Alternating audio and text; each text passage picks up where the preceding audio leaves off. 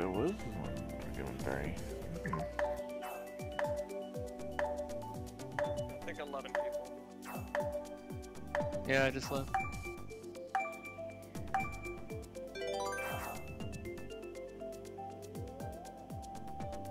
Well, not Donkey Kong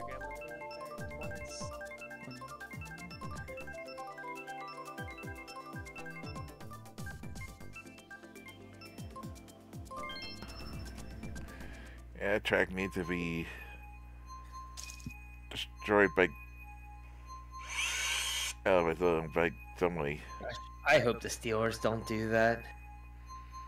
Oh, what? Trade for Russell Sign Wilson? Like Russell Wilson, yes. I I, saw- don't I- want that.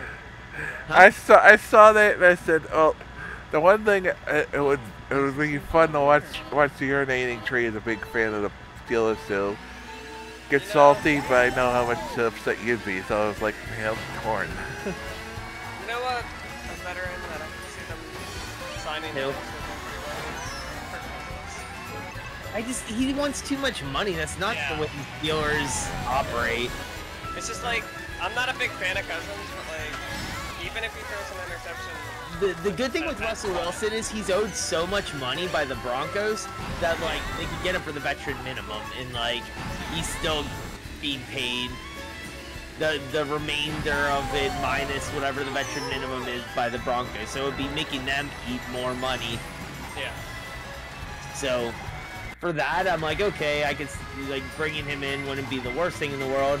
The one that I can see them bringing in though is Tannehill because he has ties to the coach when he used to be the offensive coordinator for the Titans.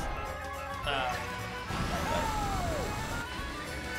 I don't know if I would want that, but if he's gonna be there to be like a veteran like leader that will back up Pickett, but also like mentor him, I wouldn't mind that.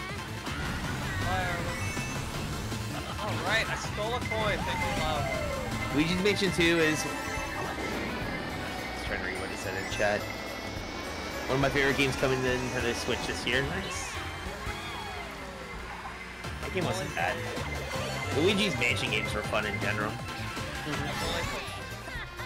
Just like pick. I've I've been wanting to play the. I've I've started this the second one. I never finished the Dark Moon. Yeah, I played it. I streamed it on my 3DS.